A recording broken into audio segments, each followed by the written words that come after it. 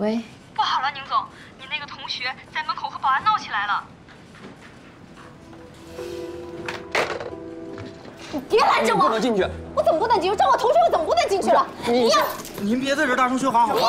要你要你给我出来！让他进去，不可以进去。你要你给我出来！你不可以进去，干什么？这是我们的工作职责我。找我同学，你有什么资格瞒着我呀？你要如果再这样的话，我们就要报警了啊！你报警吧，你现在就报警，看警察来是抓我还是抓你？不是报呀！，你冷静一下好不好？咱有什么事好好说。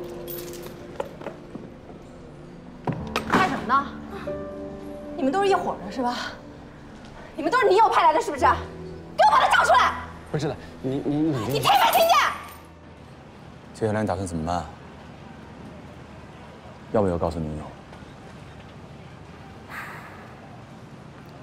我知道你俩现在关系你不方便说，但如果宁叔真打你们家主意的话，这事还真得让宁佑知道，防患于未然。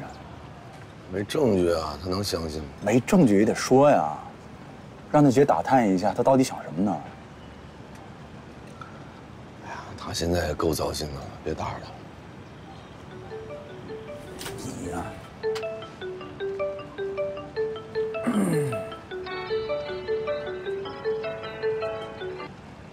女儿，喂，田青野，麻烦你帮我通知一下简红成，陈星儿又来找我闹，她现在在我公司呢，赖着不走。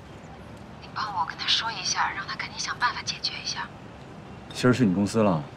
对，我跟保安说了，暂时别报警。但他现在闹得挺厉害的，但我又实在不想见他，你帮我通知一下吧，谢了。哎，宁佑，我，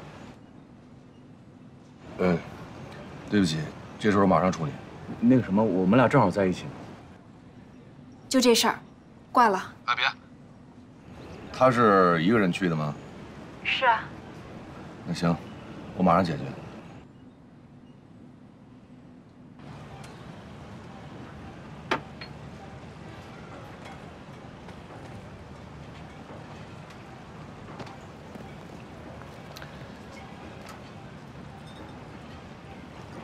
哎，江师傅，陈星现在突然间来上海了，这样你赶紧去我家看看孩子在不在。如果要孩子不在的话，你去那个三零二的邻居家看看小地瓜在不在。我估计他有这么一个可托付的朋友。好嘞，好嘞，有什么事随时跟我联系，啊，就这样。我回到上海。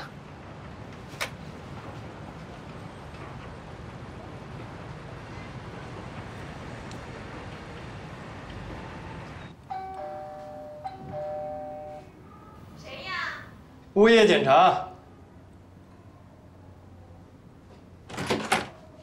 谁呀？我不认识你。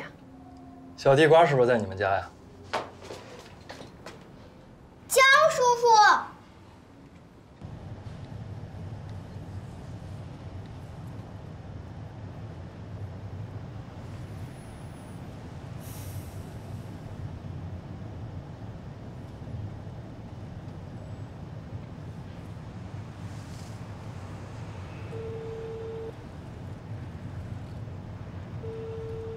喂，金总，哎，张姐，情况怎么样？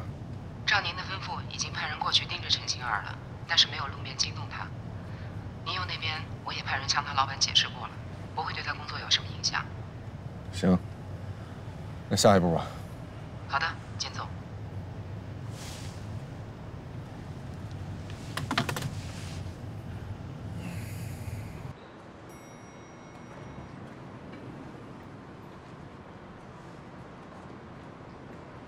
你喝口水吧。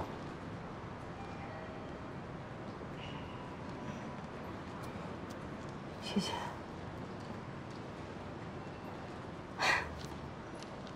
保安大哥，你看咱俩这是何必呢？你要是不嫌累呢，咱们俩就这么耗着。反正我没工作，我可以一天待在这儿。我真的不能让你进，让你进，我的饭碗就丢了。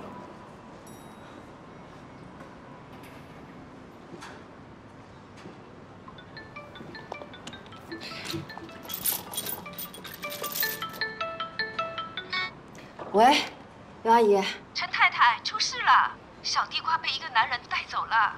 他说认识孩子他爸，我想拦也拦不住。什么？被人带走了，被谁带走了？喂，喂。